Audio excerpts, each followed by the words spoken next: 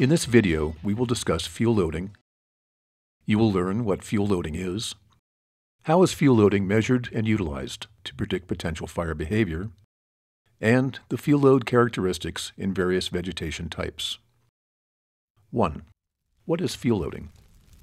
Whether fighting a wildfire or planning a prescribed burn, one of the most important factors fire managers need to consider is fire behavior.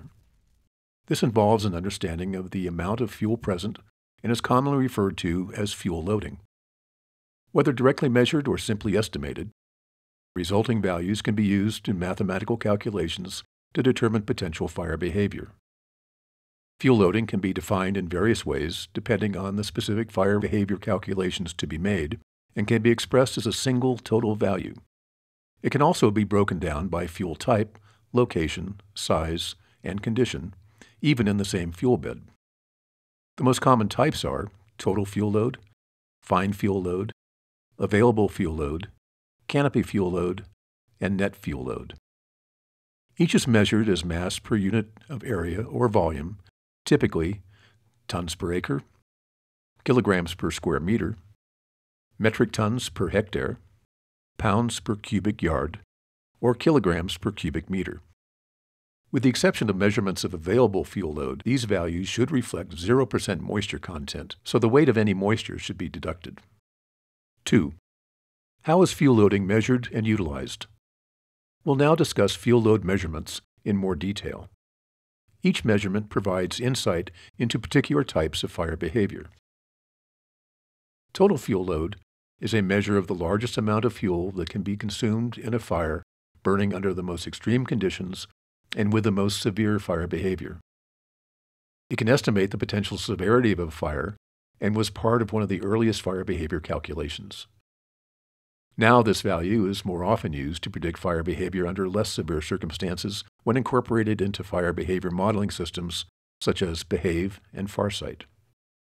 Although it sounds like a measure of the total biomass of an area, total fuel load does not include large tree boles and limbs since these are not consumed even in fires of extreme intensity and severity. Fine fuel load. Some fire behavior models incorporate only fine fuels into their calculations. These are fuels less than one quarter inch or six millimeters in diameter, such as a field of grass or a bed of pine needles. These are the most likely to form a continuous fuel bed consumed in the flaming front of a surface fire. Fine fuel loading can also be used to provide an estimate of the potential intensity of the flaming front, which is one of the standard measures of fire behavior. This can be calculated by Byram's formula, I equals HWR, where I is a measure of the energy released during combustion by a portion of the flaming front per unit of time. H is the heat content of the fuel. W is the fine fuel load. R is the fire's rate of spread. Available fuel load. Simply put, some fuels may be too wet to burn and are unavailable, while others are dry enough to catch fire and are considered to be available. In dead fuels, availability is largely determined by season of the year, fuel size, and atmospheric moisture patterns. In the case of live fuels, availability is more dependent on the plant's phase of growth, its chemical composition, and recent rainfall patterns. Separate videos exist that present a detailed description of fuel moisture patterns for both living and dead fuels. Canopy fuel load. Predictive models for crown fire potential have been developed for various forest types around the world, but all rely to some extent on estimating the amount of fine fuel contained in the canopy. Although this information can be difficult to obtain during an actual fire, it can be an important pre-fire planning tool, allowing forest managers to assess the potential risk of a crown fire and plan actions to reduce that risk, usually by forest thinning to increase spacing between trees, by reducing ladder fuels, and by reducing surface fuels. Net fuel load is a measure of the total biomass of a fuel bed that can be expected to undergo combustion during a fire. This is something of a refinement of total fuel load since it deducts biomass not likely to burn, such as tree boles and large limbs. But it also removes one other factor. All plants contain some portion of non flammable minerals. although it can vary significantly from species to species. As a rule of thumb, this mineral content is considered to be 5.55% of the total dry weight. After all other factors have been removed, the remaining mass is considered to be the net fuel loading.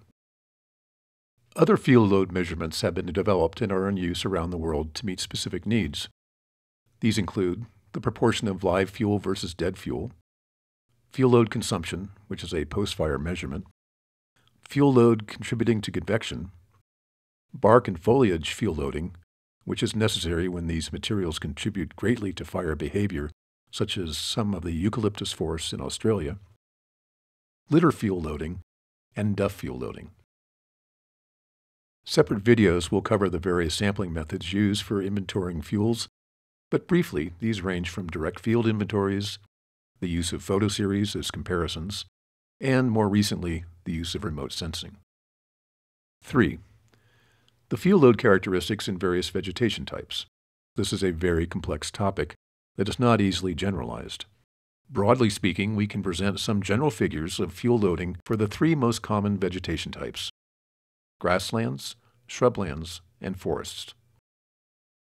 Grasslands have the lowest total fuel load, typically no more than a few tons per acre, and often less than a ton. Available fuel load can range from essentially zero in green, uncured grasses to an amount equal to the total fuel load in dried grasses. Total fuel loading in shrublands can vary widely depending on the plant species and the age of the stand. For instance, total fuel loads in very old chaparral communities in Southern California may be well over 50 tons per acre, and in some instances up to nearly 100 tons per acre. Communities dominated by smaller shrubs, such as chamise, can range from 5 to 35 tons per acre. Available fuel load in shrublands is highly dependent on the live fuel moisture content. In general, shrubland live fuels only start to become available when the moisture content drops below 100% of dry fuel weight. Unfortunately, when it comes to forest biomes, it is impossible to generalize, there being so many forest types and their fuel characteristics being so diverse. For instance, tropical rainforests have very little duff fuel loading to influence combustion and fire effects, while boreal forests may have massive duff fuel loadings that can strongly influence both. Some forests, such as ponderosa pines in the western United States and the eucalypt forests in Australia, promote an environment of frequent fire, on the order of three to five years in some cases, by rapidly creating a continuous fine fuel bed. While the normal fire return interval for other forests, such as high elevation lodgepole pine communities, may be several hundred years long. In short, this brief video on fuel loading is not about to tackle the fuel dynamics of forest ecosystems. To wrap up, determining fuel loading is an important consideration in predicting future fire behavior, whether for an active wildfire, anticipating future fire intensity and severity, or planning a prescribed burn. With this knowledge, sound decisions can be made. Without it, the potential fire behavior becomes all the more unpredictable.